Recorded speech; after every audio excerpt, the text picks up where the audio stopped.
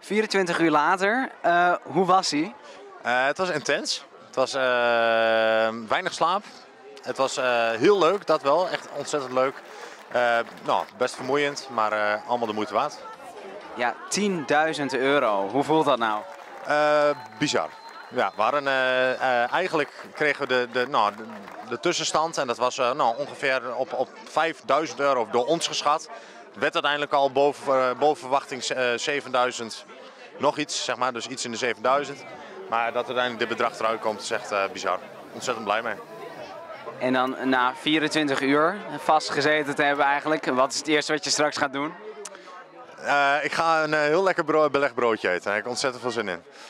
Ja, want jullie hebben 24 uur eigenlijk niks gegeten. Nee, we hebben niks gegeten. We hebben, af en toe kregen we een, een smoothie om toch een klein beetje wat binnen te krijgen. Maar uiteindelijk hebben we, de, ja, nee, we hebben niks vast binnengekregen. Maar uh, ja, zoals het hoort eigenlijk. Verder nog, uh, iets, wil je nog iets zeggen tegen de mensen waar je dit geld voor hebt opgehaald?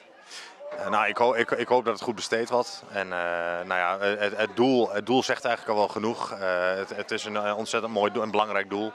En we hopen dat, dat elke cent nuttig besteed wordt. Volgend jaar nog een keer? Volgend jaar nog een keer. Dankjewel. Graag gedaan.